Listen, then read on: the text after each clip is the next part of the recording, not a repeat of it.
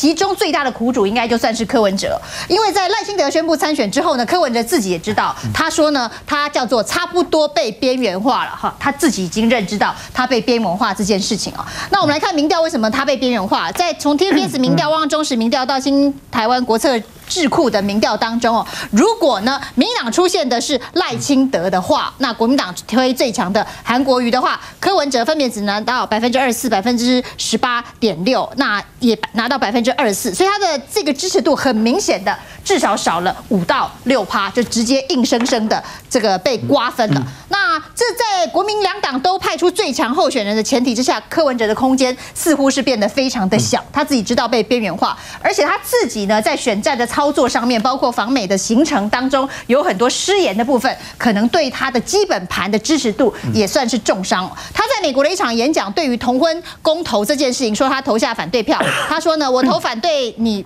反对票反对你，但是我还是允许你上街去游行哦。这个等于是得罪了很多支持同婚的年轻人哦。那因为柯文哲的最坚实的支持者就是在年轻族群，那他对于同婚公投的这个发言呢，对于年轻族群来说是一个非常严重的失言，所以他不断的解释哦。从讲了这一次的话之后呢，在脸书上面解释，在媒体上面呢还亲自出面都在解释他的发言的意思哦。包括他说他的演讲发言不不精准啊，那他要再说一次啊。他说原意不是说他自己投了反对票，也不是说他有权利允许集会游行，是表达虽然公投结果大部分民众对个议题不赞成，但是呢，大部分的民众不会去干扰游行哦。他讲他自己就好了，还要讲大部分的民众。他今天更进一步的说，这个我讲的我是指的是大部分的民众，是指的是台北市民哦，讲的不是他自己哦。这一改一再的改口，恐怕对于这个伤害是已经没有办法挽回。柯文哲的这个一直被边缘化，是代表他的个人的特质哈，一直被盖过去了。也就是说，他已经不再有鲜明的个人的特质。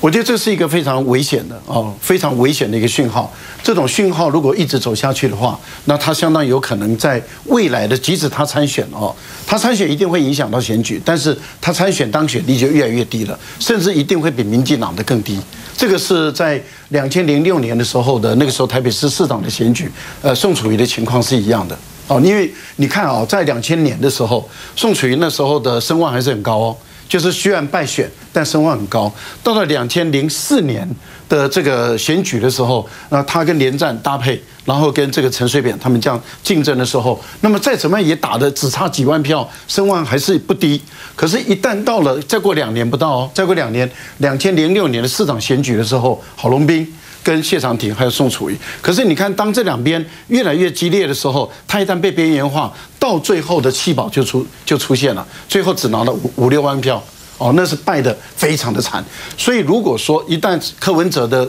这种特质一直在消失，也因为他的特质跟呃韩国瑜是有相同，可是韩国瑜的特质又比他更强。哦，韩国瑜的特质又比他更强，讲话更直接、更直率、更坦白，这样的一个情形下的时候，原来柯文哲直接讲话、坦白的这种个个性被韩国瑜整个抢光了以后，他变成他的这个个性不鲜明了。那不鲜明了以后，你可以看到他慢慢的一直在被边缘。柯文哲如果最终啊，他要想办法去挤进去的时候，那他的被边缘的可能性越大。可是如果一旦发展成为蓝绿对决的话，对蓝营绝对不利。当时韩国瑜他之所以能够赢，把这个这么蓝、这么蓝的高雄，呃，这么绿、这么绿的高雄打败，就是因为韩国瑜一直降低蓝绿对决，然后他一直拥抱无色觉醒，也就拥抱中间的选民。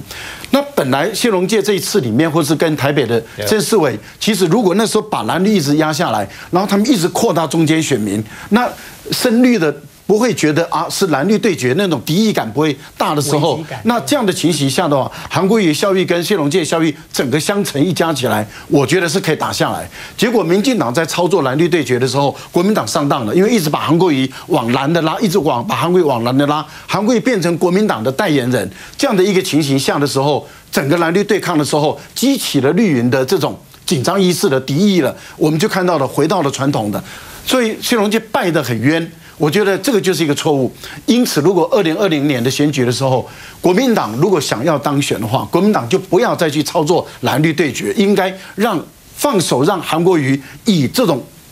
抓中间选民、降低蓝绿对决、无色觉醒的这股力量，我觉得才有可能痛。及这个民进党。但是如果国民党的这些立法委员啊，又要又又要去抢，然后抢来抢去的时候，又变成蓝营的立法委员跟韩国瑜结合在一起，韩国瑜又变成这样的一个蓝营的代表。你看，我觉得这两份民调就是这样。对，我觉得这样子一个操作的话，对于韩国瑜上面这两份民调是就跟我当时选举一模一样。对。后来科比被气的时候，对整个对决就就出了嘛。所以我觉得这个是国民党要很注意到大战略，一旦发生错误的时候，那就会全功尽弃。还是国民党现在想办法稍微挺一下柯文哲，让柯文哲撑住？呃，不是不是不是这意思，而是说不要去打回传统的蓝绿对决。我觉得拥抱中间选民是很重要的。那我们看到了刚刚提到的那个有关于啊这个征召的党的处理的问题啊，其实我个人认为政治协商还是有必要。也就是说，民进党也在进入协商了嘛，所以我觉得国民党也要进入协商。如果以现有的王金平跟朱立伦他们要去跟民进党或者跟柯文哲 PK 的话，他们的当选率都往下降，而且当选率很低的情形下的时候，其实我们就可以把它定义是艰困选区了。一旦定义是艰困选区的时候，我觉得这个党中央就要介入了。这个部分里面就可以启动征召制。政治啊，有的时候要妥协。我也感觉到王金平可能会有委屈，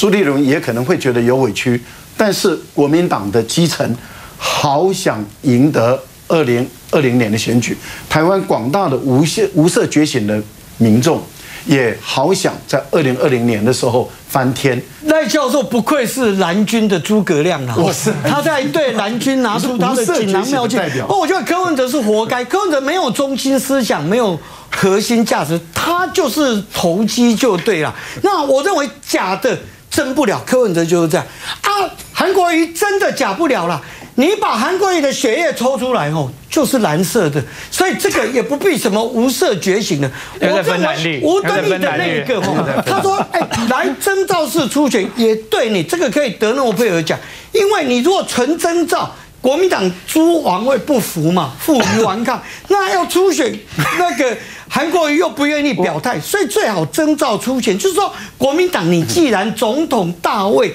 你的这个提名你是要。”这个比武招亲了，可是你公主喜爱的这个韩国瑜，他硬是不上擂台，那怎么办？那征召他来嘛，征召他上擂台，比划两下。我我秀莲，我是觉得一番呐。国民党的党主席，这个是一个最好的方式，也让韩国瑜下得了台，说他也是毕竟也是经过。其实我跟事件上有点一样啊。国民党党主席既然是党的最高领导者，他应该下来赶快来解决这一个。问题的存在，你就不要一直放话，就是。对，那刚才有一个叫国民党人士，那不管有没有这个国民党人士，我觉得吴敦义主席尽快到高雄，跟韩国瑜市长至少做个沟通。